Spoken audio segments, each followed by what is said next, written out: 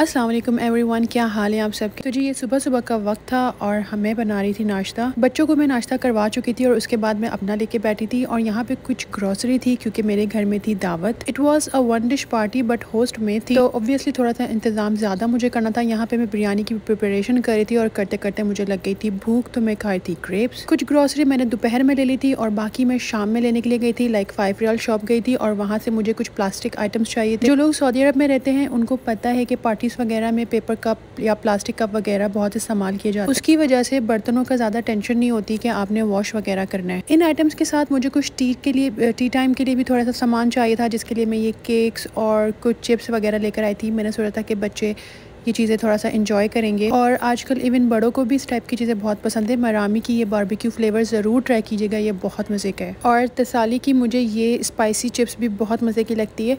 अच्छा इसके साथ साथ मेरे को वहाँ क्यूकम्बर से मिल गए थे, क्योंकि फाइव रियल शॉप में अब वेजिटेबल्स वगैरह सब कुछ अवेलेबल तो जी, ये कोक और पेप्सी का ऑल्टरनेट है किन्जा जो कि बहुत मज़े की होती है, मुझे तो बहुत अच्छी लगती है। और ये इतनी एक्सपेंसिव भी नहीं है लाइक स्मॉल जो कैन है वो वन रियाल का है और जो बड़ा कैन है वो टू रियाल का है। तो ये था थर्सडे की नाइट और फिर मैं मतलब थोड़ी बहुत तैयारी करके, हाफ़ तैयारी करके हम सो गए थे और नेक्स्ट डे ये था मेरा नाश्ता। आज मैंने ऑमलेट खाया था।